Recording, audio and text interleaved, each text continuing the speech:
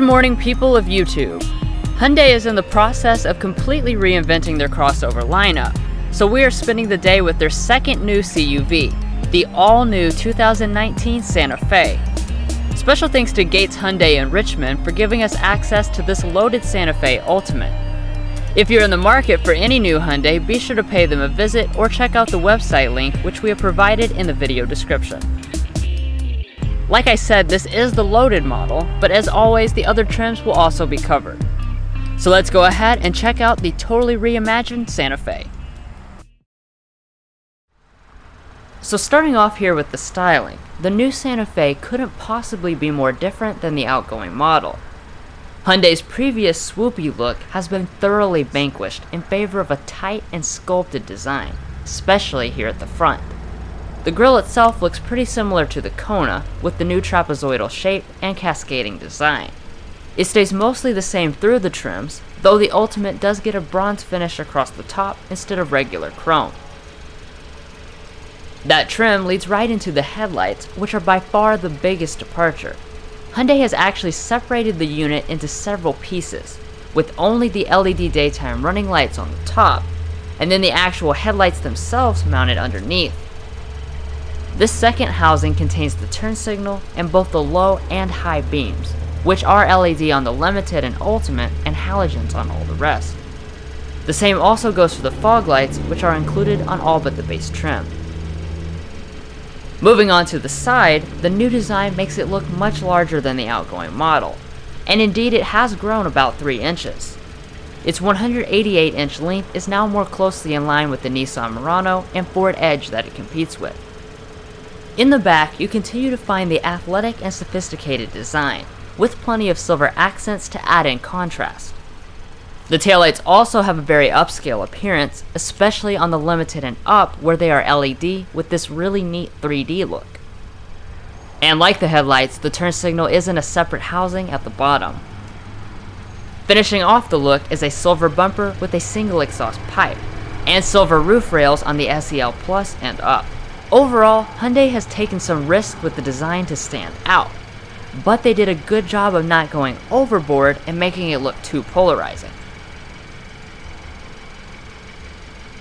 Moving on to the wheels, there are two options for the lower half and upper half of the trims.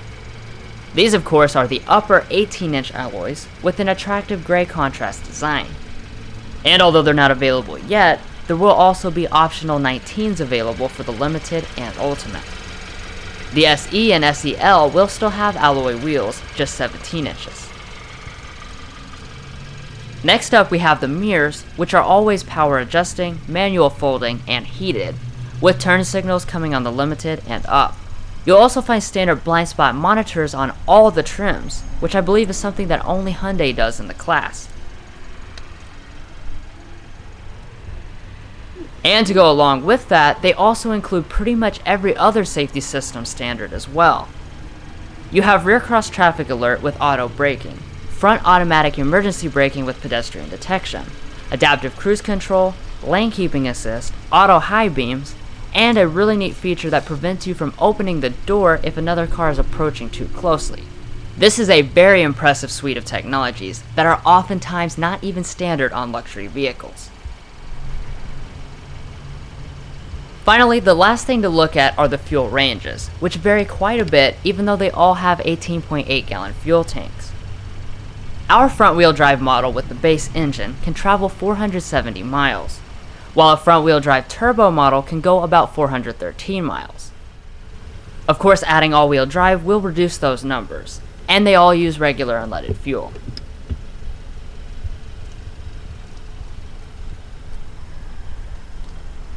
Well, that pretty much covers the fully redesigned exterior. But now let's go ahead and see if they've changed as much on the inside.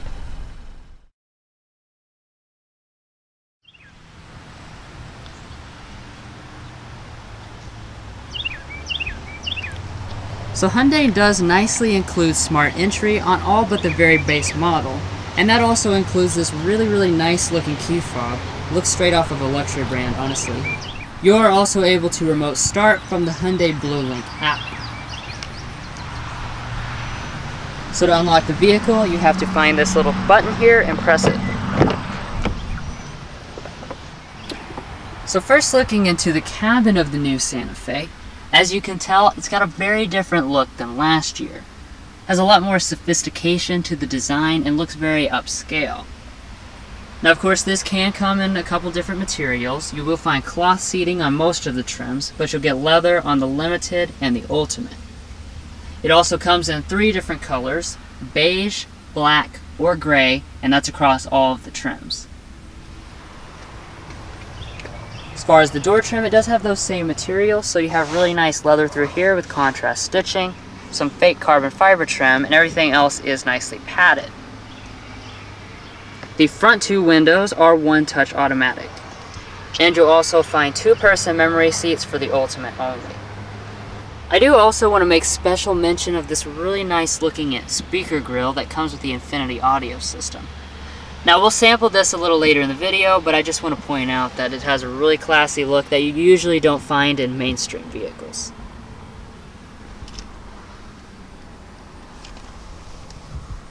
Now as far as your seats, they are 8-way power adjusting on almost all of the trims.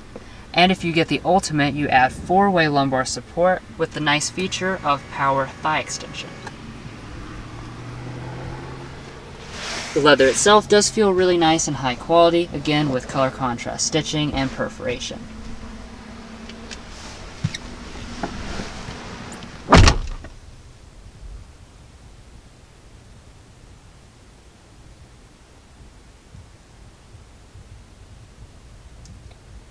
So like I said, the Santa Fe has a newly upscale look. And with that look also comes more upscale materials.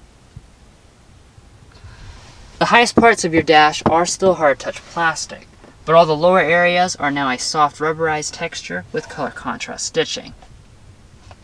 Down through here it is hard touch, but this lower area where your knees might touch is now padded leather with color contrast stitching as well. Fit and finish is also very nice. So to start up the Santa Fe on all but the base SE model, you'll just press this button. When you do, a touchscreen display will fire up on all models. It's 8 inches on this Ultimate or 7 inches on the other trims.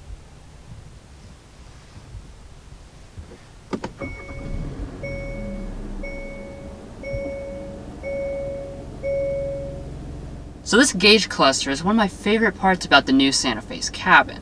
You've got some analog gauges on the side, and in the middle you have this big 7-inch display. Now this does come standard on all but the very base model. What's so nice about it though is that it's reconfigurable. So you use these buttons right here. You can just cycle through several different things like your navigation, safety systems, and whatnot. Or my favorite part is that you can go down to the settings, scroll down to other, you can actually change the whole design of the system. So you can go into digital and that changes the whole look. You also will notice that when you change the drive modes as well, we can go into sport and it changes to red with a slightly different look to it as well. So overall this is very nice for the class. In addition to that, you will also find a color heads-up display. Now right now it's only showing the speed, but it is reconfigurable to show all types of things including navigation instructions when you have that activated. Coming back to the steering, it is electric power assisted, and all models come with this attractive steering wheel design with metal, faux metal I will say, and piano black trim. It is leather wrapped on the SEL and up. Up here you've got your volume and phone controls, and I will say that these buttons are very high quality. On the other side you've got your controls for that display and your adaptive cruise control. Up top the Window wipers are rain sensing on the Ultimate only. And then the wheel itself is manually adjusting on all trims, but it is heated on the Ultimate only. Now moving on to storage, I will say that the Santa Fe keeps up with crossovers that are a lot bigger than it. Starting out with the center console, you've got a removable tray, and then a really deep area with a felt lining at the bottom. In front of that, there's another big area here, and then there's a really deep area right here with a Qi wireless charging pad on the bottom of it if you've got the Ultimate. Now if you don't get those trims, you do still have a 12 volt outlet, a charging USB port, a regular USB port, and an aux jack.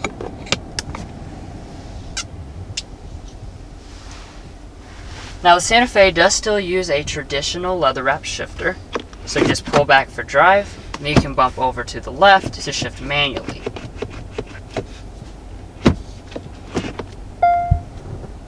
When we go into reverse, this Ultimate trim includes a really nice 360 degree camera with active trajectory. There are also several different views down here at the bottom, so you can just cycle through different things where you can see like uh, this curve view so you don't scrape your rims or anything like that. So that's very nice. Of course, the other trims do come with a regular backup camera. And the mirrors do tilt down when in reverse to help you see the parking lights. Now back behind the shifter, you do have a slew of different buttons. This one is for your electronic parking brake, and this is your brake hold feature. And then on the left side, you've got your three drive modes, Sport, Smart, and Comfort. And this turns on and off the auto start stop system. Over on the right side, you can turn off the parking sensors, and this can manually launch the 360 degree camera. Moving on to the climate, we've got the dual zone automatic setup that comes standard on the SEL Plus and up. Now of course your controls, they are very simple. You just have two high quality knobs here, and then all your other controls are well labeled with big buttons, so very easy to use overall.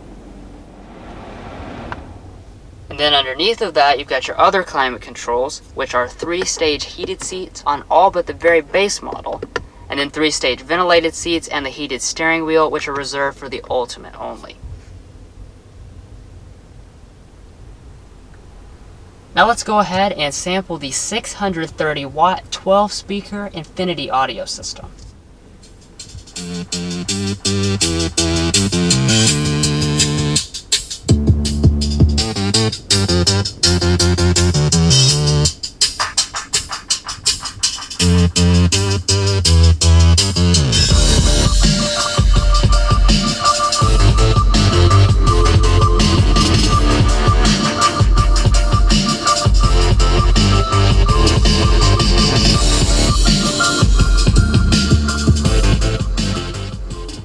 So not only do those speaker grills look really good, but it also sounds fantastic.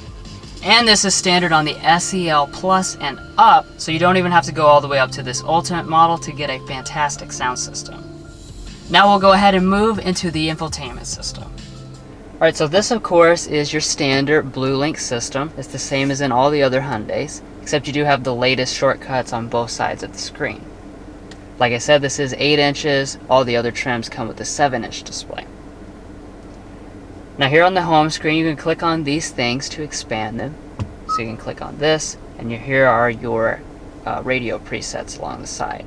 Heading back to the home screen, you can click on all menus, and this pulls up all your other apps. So we'll start out with phone. This is basically just your standard affair of your contacts, like over here, and then you can quickly toggle along the side. You do also have message support where you can click on these things, have them read aloud, and then you can even reply with a couple of pre-made quick messages.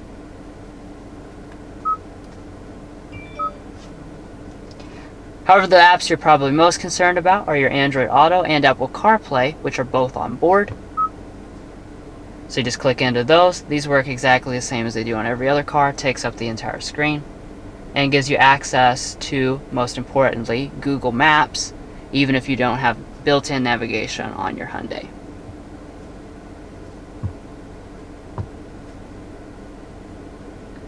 Now this Santa Fe does also have built-in navigation, however we don't have the SD card installed so it's not working right now.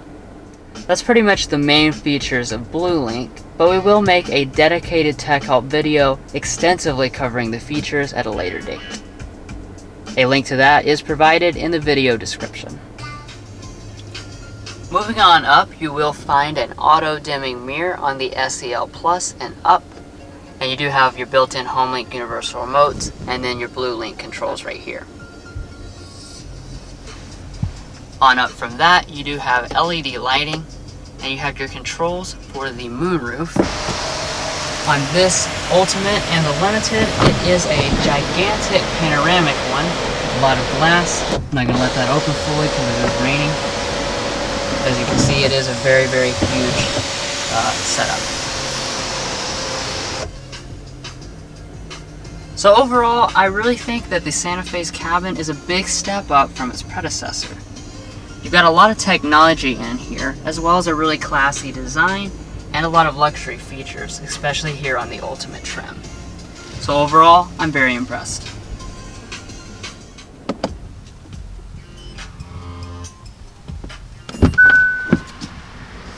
Car does also come with a new rear seat reminder system which uses sensors to see if you've left somebody in the back seat. Anyways, I'll go ahead and hand it off to Mason who will finish up the rest of the cabin.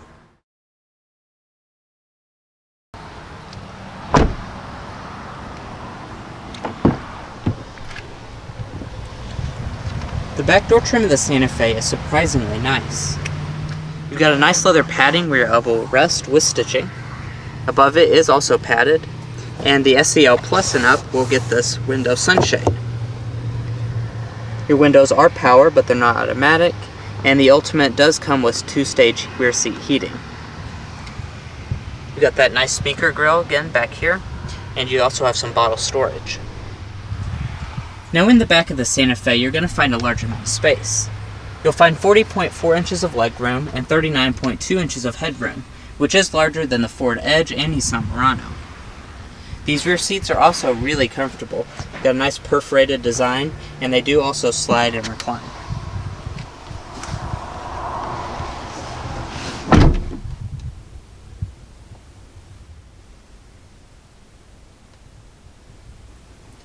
Center on all Santa Fe's, you will find these nice big vents. However, you will lack climate controls even on this top Ultimate model. Instead, you get this nice bin with some storage in the bottom, as well as two smart charging USBs, which are standard on all models. We also have this 115 volt household outlet on the Ultimate. And Hyundai does provide you with a nice armrest with some cup holders. Up top you do have a panoramic moonroof, as well as an assist grip and LED lighting. You also have a unique looking gray headliner, which is a very premium material. Now as far as space is concerned behind Drew's position, I have plenty of it. Looks to be about a foot of leg space between my knees and the seat back, and my feet can easily slide up under the seat. Sliding over even with the seat all the way back, I still have probably 6 inches of leg space. So overall, the new Santa Fe's rear seat is a family hauler packed to the gills with features to keep everyone in the rear happy.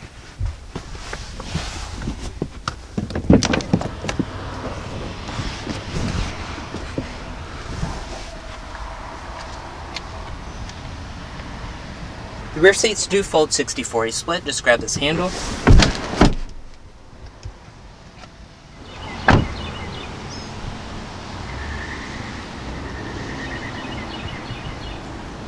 The tailgate on the Santa Fe is hands-free power on SEL trims and up. Inside the cargo department, you're going to find a class competitive amount at 35.9 cubic feet behind the second row seats expanding to 71.3 cubic feet with them folded. You can fold the rear seats by using these power folding buttons down here. So just push them and it will fold flat. You do also have some underfloor storage here as well. And I do want to mention that there is a third row option available and that is on the diesel model, but that is coming uh, in about 2020.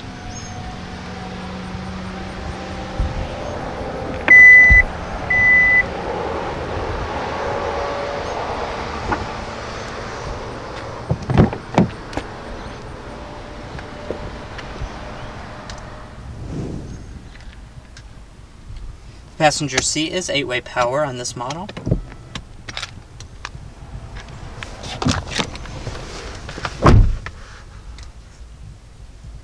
You also have a nice leather stitched dashboard, little storage here, and you do have a glove box. It's pretty decently sized, but it's not felt lined. You also have a sun visor with a mirror and light. You have to turn the light on yourself though. and it is uh, adjustable here and can extend out.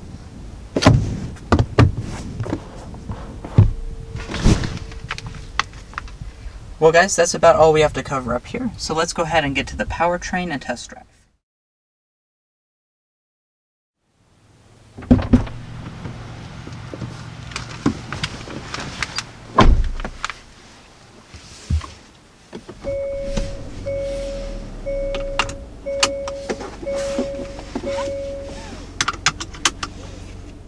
So in the Santa Fe, you're going to find two different engine options. This is the base option, which is a 2.4 liter naturally aspirated four cylinder engine, producing 185 horsepower and 178 pound feet of torque. And that's the engine you'll find on most of them at launch, but there will be a 2 liter turbo engine come in later on in the model year. Yes, and that produces 235 horsepower and 260 pound feet of torque. Front and all wheel drive is available across the lineup, and it is paired to an 8 speed automatic transmission. It's also worth noting that there is a diesel model which comes in 2020, but it's not available at launch. As far as your fuel economy, it is about average for the class, with the 2.4 liter model with front wheel drive coming in at 22 city, 29 highway, 25 combined, while your 2 liter turbo model will reduce that to 20 city, 25 highway, 22 combined. Of course, all wheel drive will further reduce those numbers if this so equipped. So let's go ahead and take this for a quick spin.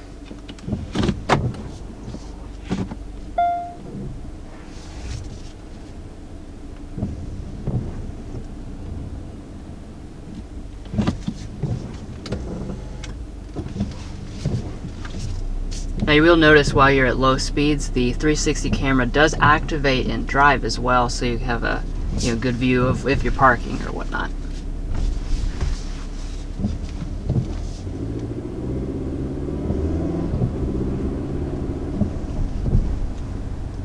So taking off here for the first time in the Santa Fe, uh, power delivery seems very smooth. This is the base four-cylinder engine,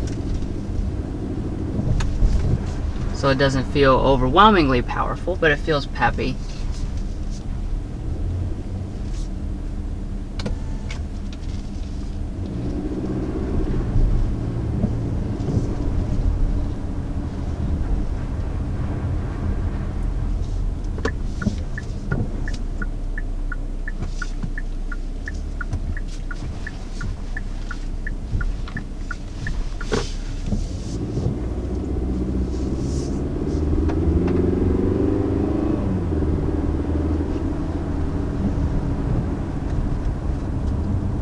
So acceleration is very smooth.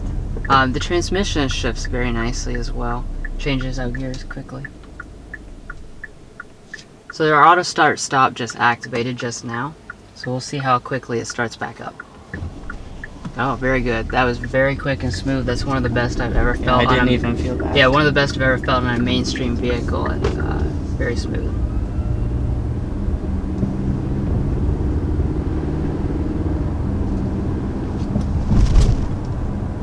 So we just hit a little bump right there, and I will say the ride quality is also quite refined. It this uh, it really has a solid feel to it. It, it doesn't seem like a uh, I guess you could call this an entry level Yeah. or you know it's a mainstream vehicle. It's not a luxury vehicle, but it has a the solidity that is uh, uncommon in a lot of cars that cost this in this price point. And it's very quiet within the cabin. It's rainy outside, so that amplifies the road noise as well. And just cruising along here, it's pretty hushed inside the cabin.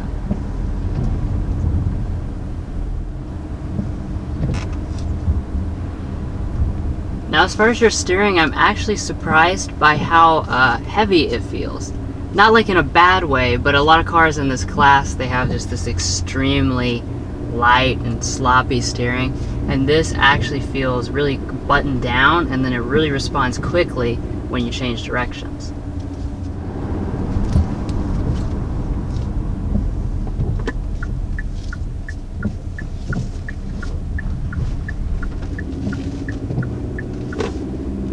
I do want to just mention just how comfortable it is to ride along in this car, since most of the time, you know, in this type of vehicle, you're probably just going to be riding down the highway doing uh, family trips or stuff like that. And I want to say that the seats are very comfortable. Uh, like I said, it's very hushed inside the cabin, and it seems to take a bump very well. So I don't see any reason why your family wouldn't be happy to ride along in this. Yep, overall, this is a very competent vehicle. And of course, it is worth remembering that Hyundai occupies a more aggressive price point than some of their rivals. So really, you're getting more of a car for your money than um, some of the rivals. Well guys, we hope you enjoyed watching this in-depth look at the 2019 Hyundai Santa Fe Ultimate. Stay watching for a quick look at the pricing, and don't forget to hit those like and subscribe buttons below. We'll catch you next time as we sample more of the latest automotive delicacies.